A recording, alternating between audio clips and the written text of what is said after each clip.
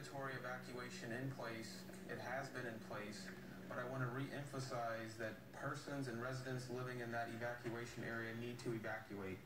And I'm going to go through the streets because it is not the entire subdivision. So the following streets are the ones that are under the mandatory evacuation and we are concerned about.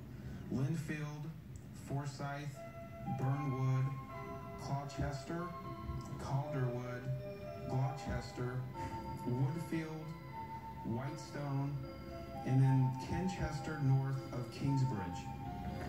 And the situation that we have right now uh, at the at the levee is that during the extreme event, as the pumps were keeping up with pumping, when the creek got very high, water was able to backflow or go back into these pump systems and push over the top of where the pumps go.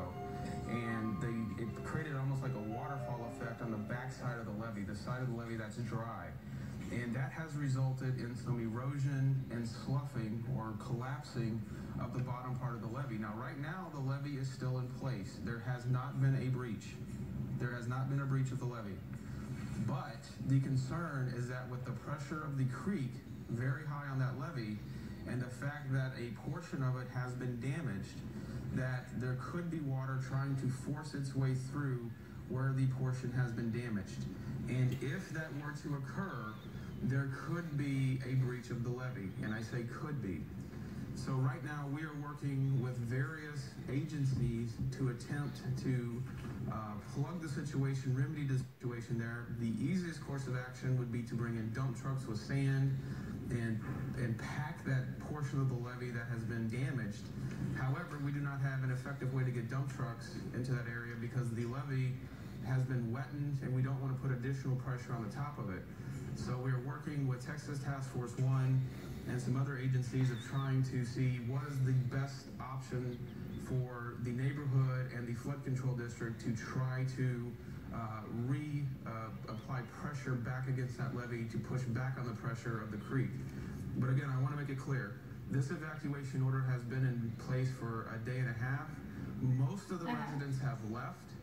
The rest of the residents in the area that I called and talked about those streets, you need to leave. In the event that the levee were to breach, if it were to breach, the water would rush into that area very quickly and you would have almost no time to leave.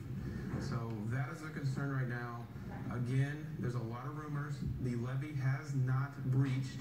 There has been some damage to it, and there are several parties right now to try to fix that damage and prevent it from breaching.